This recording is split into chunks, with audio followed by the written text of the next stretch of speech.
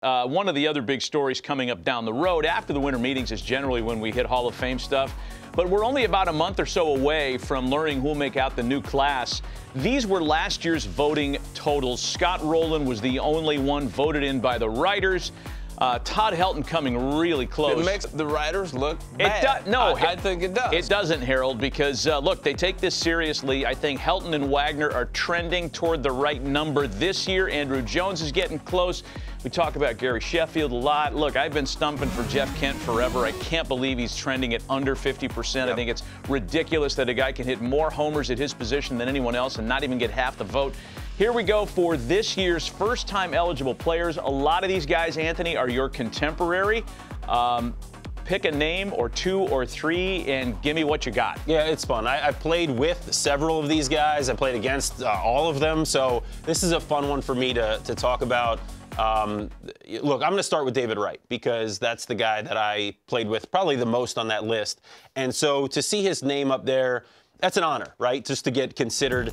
Um, I'm not going to make a case for him to make it. I think the body of work, uh, meaning his entire, you know, statistical career, and, and when you add it all up, it probably doesn't quite make sense. But when you look at his, uh, most guys look at the seven-year peak. When you look at his nine-year peak, because that's really all we got of a healthy David Wright. That's all this was. To me, this is his career. Even though it, it kept going till 18, this is his career and you stack it up to, next to Adrian Beltre, who's also on that list, who's going to be a Hall of Famer, who should be in the first ballot. I don't believe in that whole first ballot, last ballot thing. He should be a Hall of Famer, so I hope he gets in on the first ballot.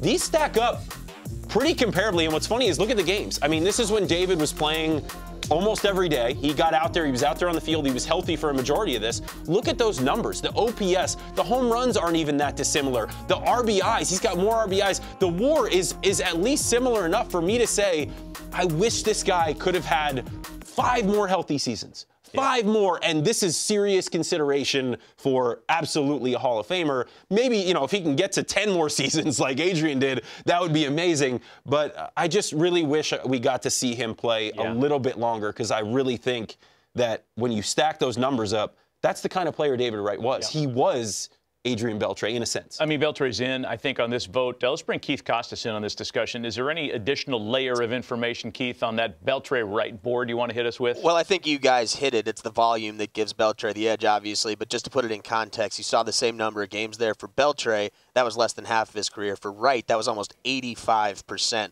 of his career. So Beltre came up as a teenager, played till close to 40. Like Anthony mentioned, Wright was essentially done at 31. For me, I'm more of a peak you know, peak guy, so I think Wright deserves consideration. But obviously, that's the difference with these two guys, just yeah. the volume. And we'll be talking a lot about this ballot as we continue. By the way, just a note on Jeff Kent: he's off the ballot now. He's got a, he gets kicked onto a committee. Oh, because yep. nobody could figure out that a guy that led his position in homers all time should be in the building. I'm excited to see Billy Crazy. Wagner finally get in. I'm yeah, just going to say it. Billy's getting in this year, and I'm excited to see it. Yeah.